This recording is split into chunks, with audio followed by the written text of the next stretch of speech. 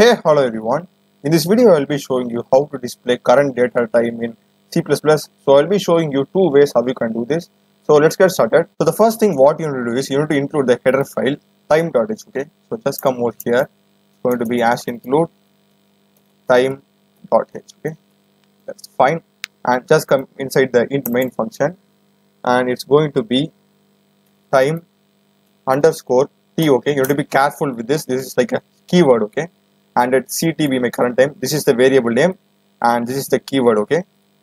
Equal to time within circular bracket just put 0 okay? Colon that's it. Come to the next line. So it's going to be string space current time okay? Equal to ctime ampersand ct okay?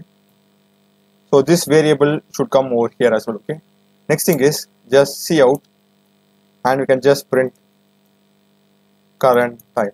That's it okay? Just three lines of code we will be getting our date and time over here. So let me just now save it execute and run it now so as you can see i'm getting tuesday april 19th this is the time and this is the year so it's working perfectly.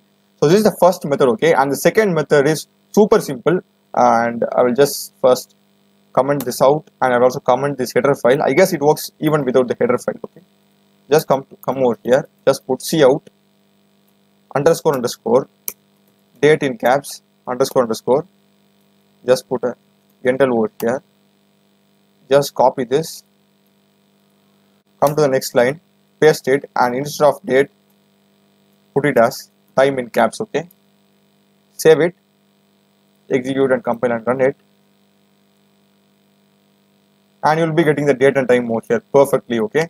So i think this verse uh, this date and time works only in selected uh, c++ versions or the updated or the latest one. I'm not pretty sure about it but i think uh, any one of these two methods will work fine and you can just try it out okay? So that's it for this video and i also done many other programming videos in c++ java python 3d animation blender sql so do check them. Subscribe me. Thanks for watching